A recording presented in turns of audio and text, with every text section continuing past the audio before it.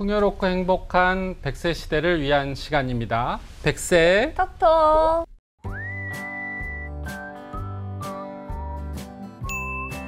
국정 아나운서 지난 시간에 저희들이 고령 친화 식품에 대해서 네. 이야기를 했는데 아직 걸음만 것 같은데 굉장히 이 속도가 빨리 어, 발전을 할 것 같아요. 이 식품 산업이. 맞아요. 그만큼 이제 고령자가 많이 증가를 하고 급증을 하고 있는 추세이기 때문에 그 네. 어느 때보다 지금 블루오션으로 각광을 받을 것 같은 금방 그 받을 수 있을 것 같아요. 그럼요. 우리 네. 유튜브 구독자 분들께서는 진짜 음. 빠르게 저희와 네. 함께 하시는 것 같은데 자 그런 점에 있어서 궁금한 것들이 또 많잖아요. 음. 네. 어떻게 얼마나 이 심사가 까다롭게 진행이 되고 있는지 정말 우리 소비자들이 믿고 구매할 수 있는 식품이 있는지. 맞는지 여러 가지 궁금증들 이번 회에서 다시 한 번 더 센터장님 모시고 이야기 풀어가 보도록 하겠습니다. 네. 어서 오세요. 네, 안녕하십니까. 반갑습니다. 네. 센터장님, 근데 제가 얘기를 듣다 보니까요. 이 식품 저도 좀 먹어보고 싶거든요. 저희 부모님 드리기 전에 제가 먹어볼 수 있나요? 뭔가 고령이라는 단어가 들어가 있어서 음. 65세 이상만 가능할 것 같아가지고. 사실은 저도 치아가 안 좋을 때는 먹습니다.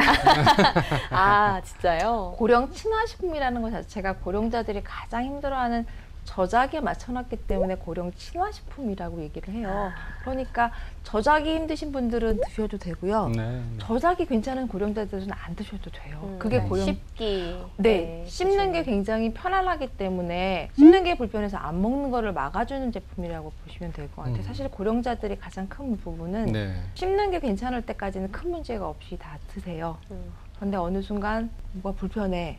그리고 자꾸 이제 덜 씹고 드시면 소화도 안 되세요. 네, 그렇죠. 네. 그러면 음, 덜 씹고 소화도 안 되니까 자꾸 불편하다 보니까 자꾸 이렇게 안 드시게 되세요. 그래서 우스운 말로 네. 이렇게 식탁들 있으면 아유 나는 밥맛이 없어 그러면서 밥에 물 말아 먹을래 그러고는 소금기는 있어야 되니까 김치 이렇게 이렇게 해서 음. 네. 그거 하나 이렇게 어물어물어물 드시고 계시면 음. 그렇게 드- 얼마 지나면 아프세요.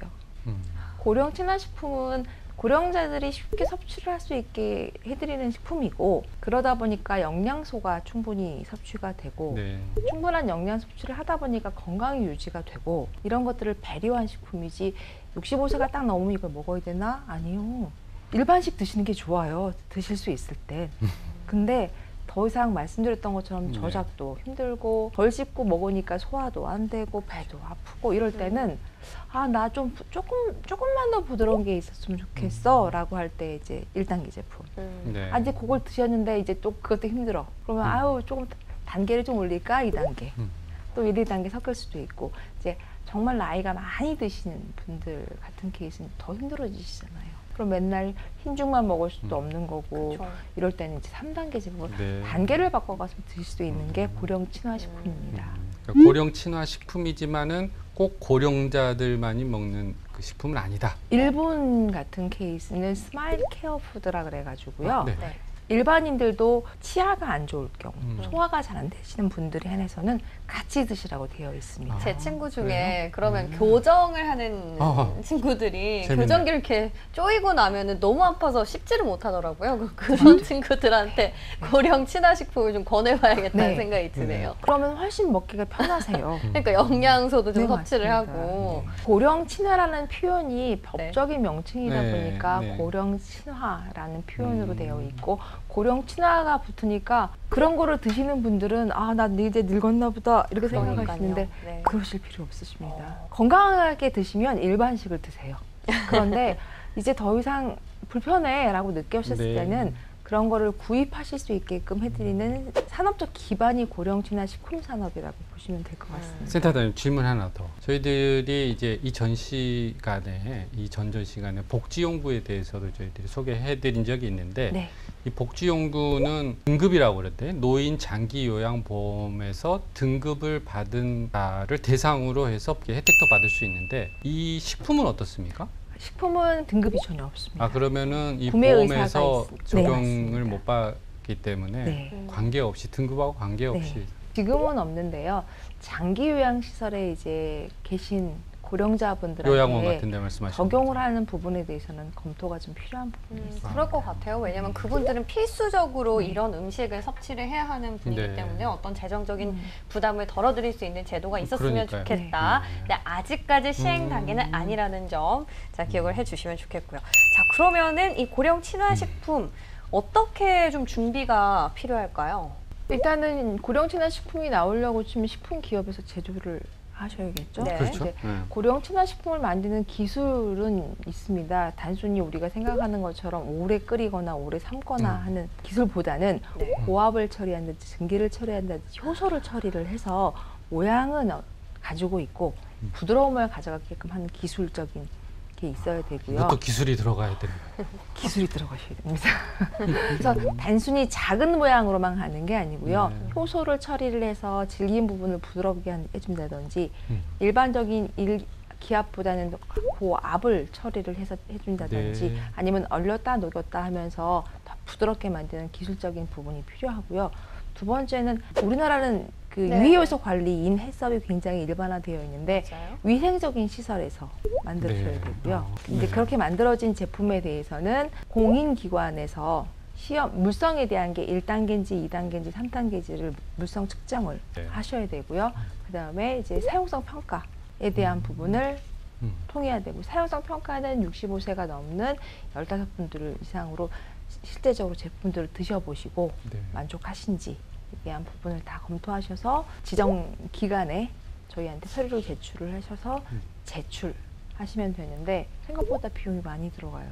어, 어떤 개발 부분에서 물성도 측정을 하려고 치면 비, 비용도 들어가게 되고 네. 사용성 평가하는데도 비용이 들어가게 되고 저희가 그런 부분에 대해서 기업들도 개발을 해야 되는 거니까 네. 지원 사업을 준비해 놨습니다. 어, 어. 개발 비용을 지원해 지원해 네. 받을 수 있는 방법이 맞습니다. 있다는 거죠? 그래서 올해는 이미 신청이 끝나서 더 이상 신청할 수는 없고요. 내년 초반에는 지원 사업, 그러니까 고령 친화식품을 개발할 수 있는 지원 사업도 마련이 되어 있고 지정 심사를 받을 수 있게끔 네. 되어 있고요. 고령 친화 우수 식품으로 지정을 받은 식품에 대해서는 또 저희가 홍보 마케팅에 대한 부분도 계획을 세우고 있습니다.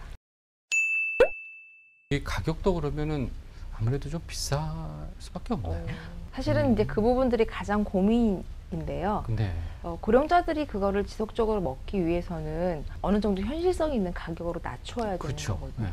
가격은 일반 식품보다 분명히 비싸요. 비싸요. 네. 하지만 두세 배 이렇게 올라가면 구매할 수가 없어서 음. 가격을 낮추는 노력들도 지금 기업에서 많이 하고 있습니다. 음, 아. 어떻게 보면 뭐 아. 유기농 두부가 조금 더 비싸듯이 조금 더 비싸지 너무 네. 많이 비싸면 어. 구매가 힘드는 것처럼 조금은 비싸지만 너무 과해서 소비자가 구매를 못하게 하는. 수 있으면 안 되는데. 네 맞습니다. 뭐 어쨌거나 이런 음. 기술적인 부분을 식품에 이제 활용을 해서 어떻게 새로운 뭔가 단계를 지금 개발하는 데 있지 않습니까? 그럼 당연히 가장 중요한 게 영양 소일 것 맞아요. 음. 같은데 이런 부분들을 해치지는 못하겠네요. 기술적으로 다 커버가 돼 있으니까. 노인분들이 어르신분들이 더 영양을 신경을 쓰실 것 같은데. 그러니까요. 그래서 고령자들이 섭취해야 되는 영양 기준이 정해져 있고요. 그 영양 기준에 맞게끔 저희가 심사를 할때 네. 물성에 대한 부분도 심사를 하는 것도 있지만 영양소가 나이 드신 분들이 이제 먹었을 때 맞게끔 되어 있는 것도 심사 항목에 들어 있고요. 그거에 대한 성적서도 저희 쪽에 제출을 해야 됩니다. 나이 드신 분들이 이제 반드시 드셔야 되는 거 단백질, 그렇죠. 네. 비타민 A, 비타민 C, D, 리보플라민, 나이아신, 칼륨 이런 성분 중에서 한 가지 이상 정도는 이제 식약처 기준으로는 세 가지고요. 저희는 한 가지 이상은 맞춰야지만 되고 대부분이 조리 과정이 많아지면 많아질수록 사실은 영양 성분이 파괴가 돼요. 그렇죠. 네. 아, 그렇구나. 그거를 다 같이 가질 수는 없고요. 음. 그런 부분을 고려를 해서 다시 영양 성분까지 맞춰서 만들어지는 제품들이 많이 있습니다. 아, 들어보니까 고령 식품 산업이 굉장히 고퀄리티 산업이고 네. 이 굉장히 기술을 요하는 산업이 될 것 같아요. 그래서 그래서 코로나 21 그 대책 포럼에서도 미래 유망 중장기 식품 중에 HMR 네. 1등이고요. 두 번째 건강기능식품, 그렇죠. 그다음에 고령 친화가 3등이었어요. 아? 왜냐하면 아이들이 이유식을 먹는 기간은 한 우유를 먹는 건 1년, 이유식을 먹는 건 2년. 지나면 세살만 세살이 되면 일반식을 먹어요. 65세가 돼서 바로 고령 친화식품을 드실 필요는 없지만 일반적으로는 75세가 넘어가고 80세가 넘어가면 불편해 하세요. 음. 그럼 이제 그때부터 고령 친화식품을 섭취를 하시게 되는데 요즘 100세 시대라고 하죠. 20년을 드셔야 돼요. 와, 아. 근데 그 고령화 인구는 점점 늘어나고 갈수록 있고 늘어나. 네. 시간도 어. 점점 수명도 길어지고 네. 있고 그렇죠. 어쨌든 지금은 걸음마 단계이긴 하지만 그쵸. 앞으로 성장한 음. 정말 여지없이 확신을 할수 있는 그런 산업이 식품 산업이 아닐까 이런 저희들이 생각이 듭니다. 2025년이면 고령자 65세 이상 고령자가 천만이 넘는다고 하는데 어, 갈수록 뭐 시장이 엄청 커지겠네요.